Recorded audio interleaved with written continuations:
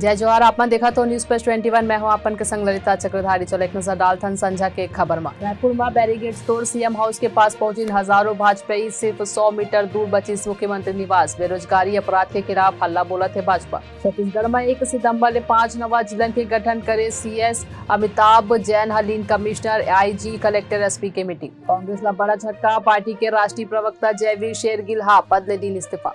सरकारी अंग्रेज़ी कॉलेज की घोषणा के बाद रायपुर के संस्कृत कॉलेज में अब इंग्लिश में घलो हुई पढ़ाई, ओशो घलो रह चुके हैं कॉलेज में अध्यापक। झारखंड में ईडी के छापा ए के सैतालीस मिलिस। सीएम सोरेन के करीबी प्रेम प्रकाश के घर तिजोरी में रखे रही दो ए के सैतालीस, साठ कारतूस घलो बरामद। बयालीस जगह में सीबीआई ईडी के रेड बिहार में आरजेडी फाइनेंसर संघ छह नेता घर, सीबीआई के छापा गुरुग्राम में तेजस्वी यादव के मॉल पहुँची टीम। ज्ञान वापी मामला पर कोर्ट 12 सितंबर को मेंटेबिलिटी पर सुनवाई फैसला। पंजाब में पीएम नरेंद्र मोदी हा मोहाली में होमी भाभा कैंसर हॉस्पिटल और रिसर्च सेंटर की करनी उद्घाटन। गुजरात में अरविंद केजरीवाल तीस अगस्त के द्वारिका के दौरा में रही।